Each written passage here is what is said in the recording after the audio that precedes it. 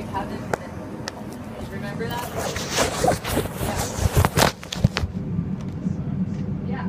Just shit situation. I know, and I feel really bad because I called the cops and now Adam's in jail. He's been in jail since he's 16. Adam Love's a sketchy. That's what you you know. I don't think it's not sketchy. I just think he's like, sketch as fuck. but dude, that situation is just weird. Because I even, it's not like he's lying though, because I looked online to why he went to jail, and it's because of what happened. There was no like hidden like drug charges or anything. It's not like there was something with telling me going on. It was literally what happened that night. And I even have a video because I started painting and like Ruben ran from the fucking cops and then like we were standing there in a group and the cops were like running past and they turned around and they apologized to Adam for being assholes. And Adam's like, it's okay. And then they run off after Ruben.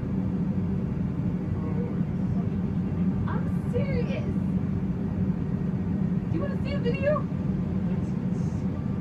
You like can't tell what they're saying, but I remember. That's why it's so sketchy.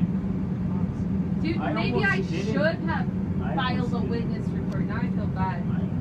Now I feel like because Ruben's girlfriend, stupid ass girlfriend, filed a witness report and like made Adam look bad, and then because I didn't file a witness report, then like I fucked Adam over or something.